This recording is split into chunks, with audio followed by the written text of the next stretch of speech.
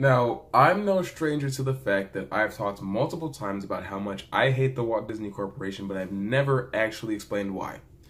But to explain why would take about a half hour. So instead of doing that, I'm just going to chop it into little bits and um, hopefully I'll be able to get my point across to you that this way rather than just a long form video that you're not going to watch.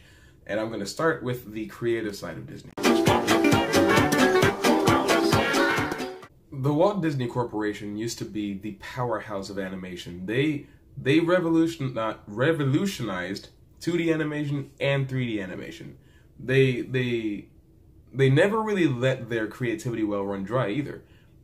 Plenty of people have a collection of the best Disney films, and they're all from you know the 1900s. But back then, there was true imagination. There was there was passion involved. Why do you think Cinderella and Aladdin and all these other movies had like straight to video sequels? Because the sequels lose something, and that's always been true, especially when it comes to Pixar. Look at Cars 2 and 3, Toy Story 2 and 3. Well, more Toy Story 3 than 2. Incredibles 2.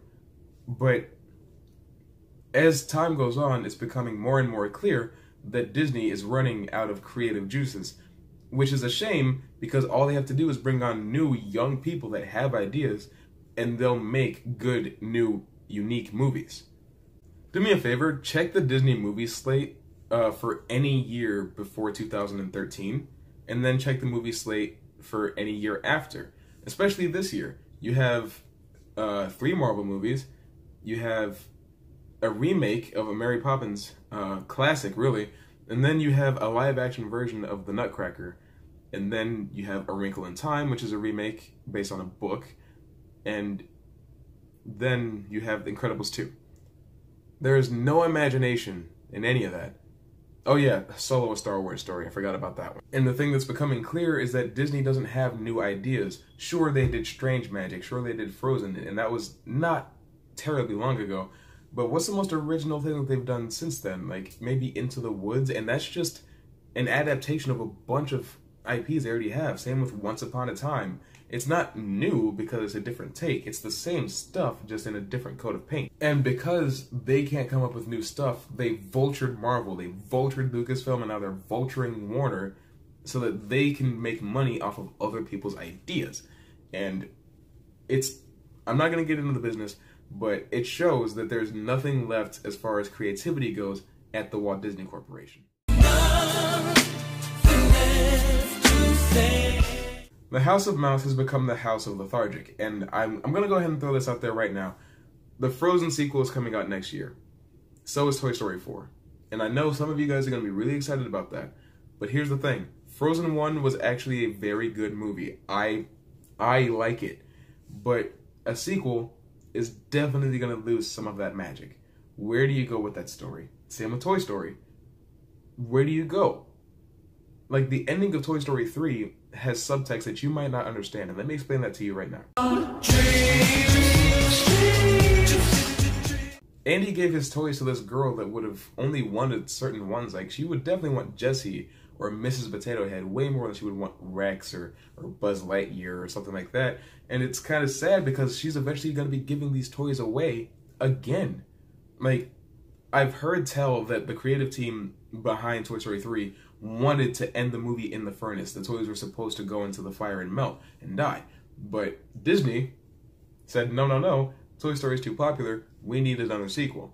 So here we have a Toy Story 4 coming out in May, I believe. And that's another thing. Why would Disney want to own so many things that are releasing right next to each other? Like that's going to compete with your own box office take homes. It's like what what's the reason behind that? If you work at Disney, please let me know cuz I would love to have a conversation.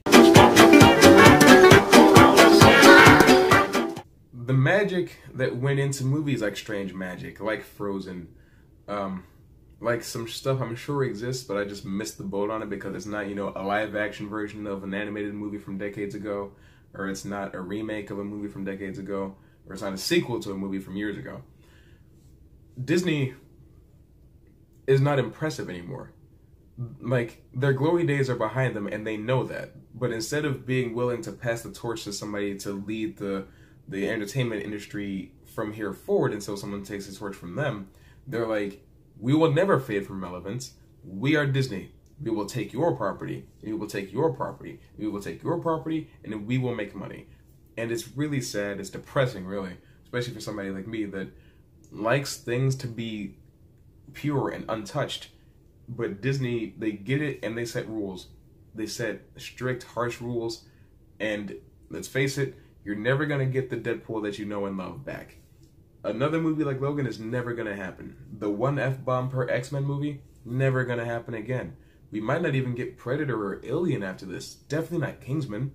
Like, Disney going around and grabbing all these things because they're out of ideas makes other people's ideas weaker by proxy because now you have to obey Mickey Mouse's rules.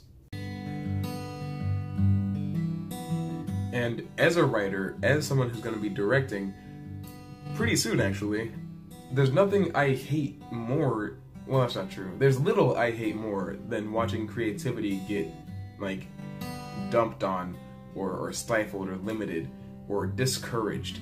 Imagination is powerful if that's the industry that you're in. If you're in the industry of creating entertainment, never let your imagination, never let your ambition, your passion, your creativity be outshined by somebody else's rules. Take it somewhere else. If you have a script that Warner doesn't mm-hmm. like, take it to Universal, take it to Sony. Somebody will let you flourish, all right? Disney won't. Disney won't let anybody flourish. I it hurts me to watch Disney destroy things the way that they have been. But as of right now, there's no there's no corporation big enough to take them down. So maybe we'll all live long enough to see them collapse on their own. Maybe they'll collapse in on themselves and become a void where Disney used to be under the pressure of all the stuff that they own and all the rules they're trying to set and keep. But until that happens, we're just gonna have to wait this out. But thanks for watching me uh, talk to you very real about Disney and why I'm not a huge fan. And um,